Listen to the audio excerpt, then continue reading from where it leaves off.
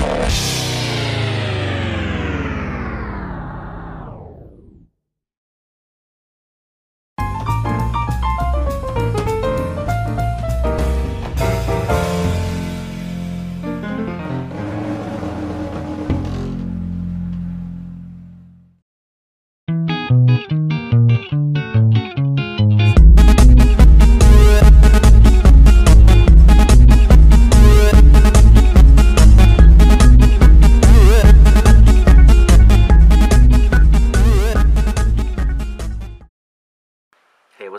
everyone? Brian from GumballTech.com and in this video I'm going to show you how to control your iPhone with your computer.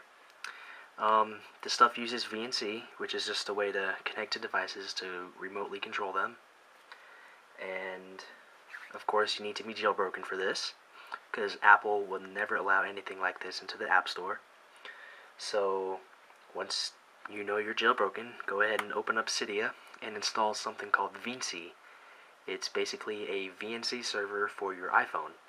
It is spelled V-E-E-N-C-Y.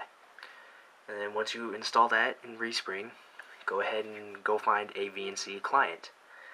Um, one I like is from Real VNC. It's just their free viewer application. You can get it for free from realvnc.com. It's available for Windows and Mac, and I believe for you win uh, you Linux guys out there, uh, you have a uh, built-in client like this. So you need to make sure you know your Wi-Fi IP address of your device.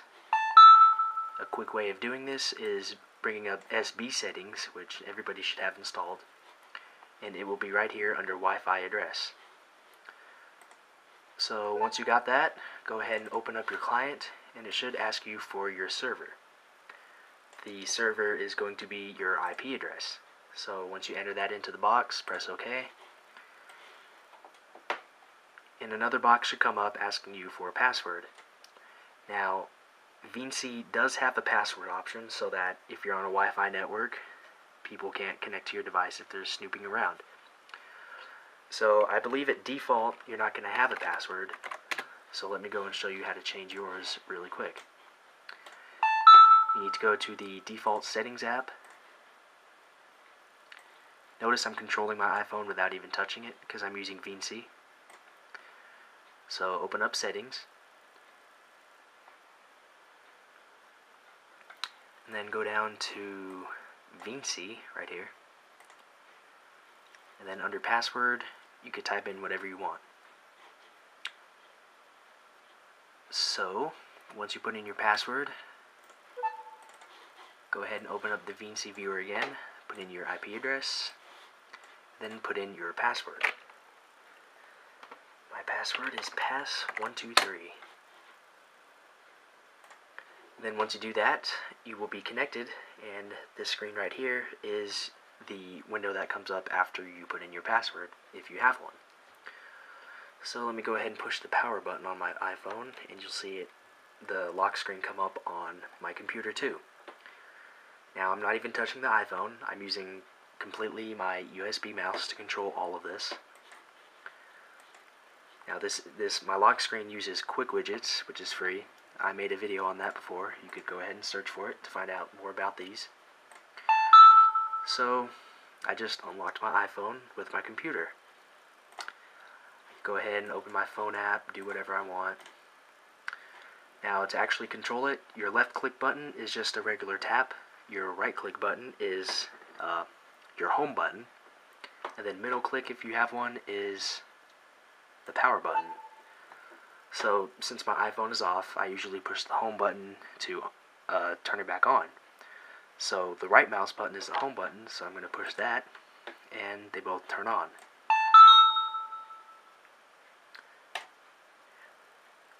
So that's basically how you use it. Um, one of the cool features of using your iPhone as a VNC server is to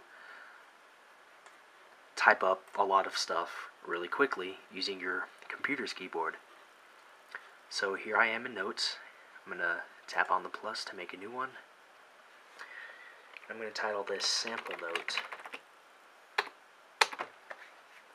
And noticed it showed up on my iPhone without me even touching it. So I'm gonna find something to type really quick. I have some notes here. Um, so I'm just gonna begin typing a paragraph or two so you can see how cool it is to actually type on your iPhone without even touching it. Um, one quick note, re really quick. Um, in, the, in your status bar, you should see a little V. That means that somebody is connected to your iPhone. So if you're on a public Wi-Fi spot and you notice the V there and you didn't actually connect to it yourself, then you could go ahead and disable Wi-Fi and then you'll be safe.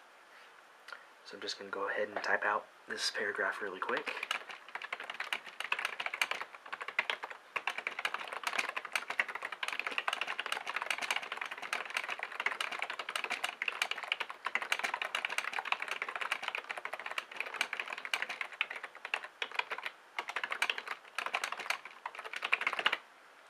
So there you go. I just typed something at least five times faster than what you could type if you're actually tapping everywhere on the screen. Um, so you can basically use your normal keyboard as your iPhone's keyboard. Now the arrow keys on your computer's keyboard don't do anything, so you can push those all day long and they won't actually function. But your backspace and your shift and your caps lock do function. Now, one thing about VNC is that your iPhone uh, only reacts to touch to know whether or not your backlight timer is on. So occasionally you'll have to just tap your iPhone to make sure that to uh to reset the timer. And that is about it for this. Um, let me delete the note by swiping and right clicking. So that's pretty much it. So the primary purpose of VNC is to maybe take care of uh, a lot of different tasks like um, if you want to browse Cydia without actually using your phone. Like your phone could be, uh, let's say, downstairs and you could connect to it while you're upstairs without even touching your phone, as long as it's on your Wi-Fi network. So I mean, if you also want to type up some notes that are fairly long, you could just use VNC to type them into your iPhone. So that was just a look at Veency, a VNC server that runs in the background for iPhone and iPod Touch. Hopefully you found this informative. Um, if you have any questions, just post it in the comments, and we'll see you soon.